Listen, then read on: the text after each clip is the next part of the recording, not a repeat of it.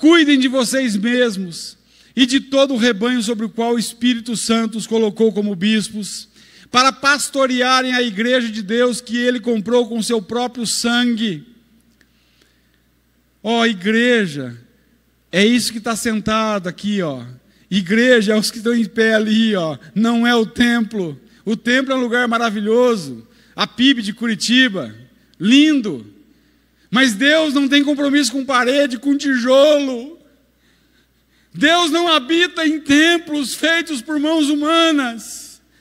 Deus habita naqueles que reconhecem os seus pecados, que se arrependem de seus pecados, que recebem Cristo como seu Salvador e Senhor e que vivem pela graça dEle. Nós somos templos do Espírito Santo. Olha só, o Paulo vai dizer: Vós sois templo do Espírito Santo, é vós e não é eu. Eu não sou o templo. Nós somos a igreja de Jesus Cristo e não eu sou a igreja. Eu não sou a igreja sozinho. Eu preciso do meu irmão. Nós somos igreja do Senhor Jesus. Nós somos membros de um mesmo corpo, que é o Senhor Jesus. Mas nós não somos o corpo inteiro. Nós precisamos uns dos outros, irmãos. Nós precisamos a cada dia de que um ame o outro verdadeiramente. Não existe vida cristã isolada. Você precisa estar em comunhão com os irmãos para a sobrevivência espiritual. Olha, eu confesso para vocês, esses dias que nós estamos em quarentena, eu louvo ao Senhor, porque nós lá em casa temos feito culto doméstico à noite, Sabe, o meu filho toca, Yasmin canta, a Keila e o Lucas participaram do culto passado. Nossa, é glorioso, o Lucas pregou. É maravilhoso, sabe? É muito bom poder buscar Deus onde você estiver. Agora eu digo para você, estou com saudade dos irmãos, estou com saudade dos cultos aqui, estou com saudade de abraçar os irmãos, abraçar sem medo, sem receio de coronavírus.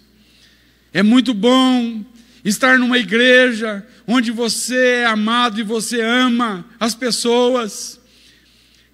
Deus nos colocou nesse mundo para que nós dependêssemos dEle e dependêssemos uns dos outros.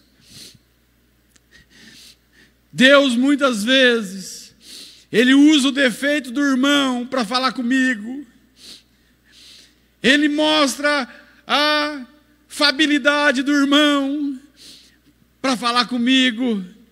Deus muitas vezes permite que eu veja o pecado dos irmãos, para olhar e ver que eu sou um miserável pecador e que eu também erro e que eu também falho.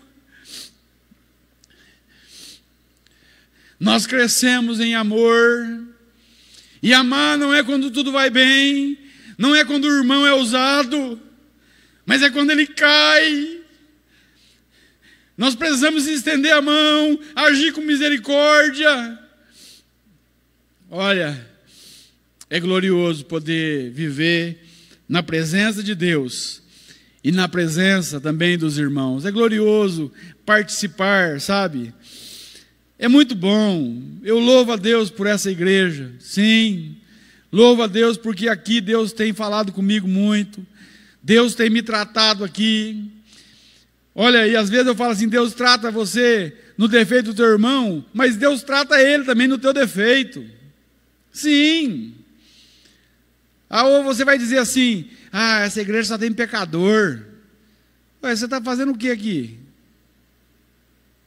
Nós somos pecadores, alcançados pela graça de Cristo, e vivemos na presença dEle, apontamos para Ele e seguimos a Ele e seguimos os seus ensinamentos, e precisamos reconhecer que Deus tem falado conosco, que tem moldado as nossas vidas, tem moldado o caráter de Cristo em nós, muitas vezes na comunhão que nós temos com os nossos irmãos, nas coisas cotidianas que acontecem conosco na rua, sim.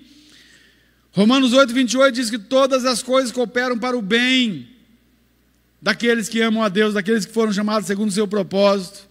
Tudo coopera para o bem. O bem aqui é Cristo sendo formado em nós. Às vezes nós reclamamos das coisas, de problemas que acontecem conosco, mas aquilo ali, muitas vezes, está tratando conosco, está moldando Cristo em nós. A questão do coronavírus, né? Misericórdia, eu sei que, sabe, eu jamais queria que ter, acontecido isso, isso aí, eu sei que nós temos que trabalhar, mas, rapaz, o tanto de gente que está tendo comunhão dentro de casa, apesar que as brigas também devem deve ter aumentado um monte, né? Mas olha, o adultério caiu, né? Para, para, tem muita coisa boa acontecendo. Sabe? Então, muitas vezes, Deus permite isso para nós olharmos para Ele, para nós entendermos que nós somos pó, nós somos pó e dependemos dEle. Pessoas precisam de Deus e pessoas precisam de pessoas. Pastor Ed René Kivitz, ótima frase dele. É isso aí. Nós precisamos de Deus, amém. Mas nós precisamos uns dos outros, sim. Nós somos membros de um corpo. Se você levar uma martelada no dedo, é só o dedo que vai doer? Não, vai doer tudo, vai dar um, sabe? Você vai estremecer de dor. Então não vem com essa que você sozinho é igreja. Sabe? Nós somos igreja. Não é eu. Somos nós.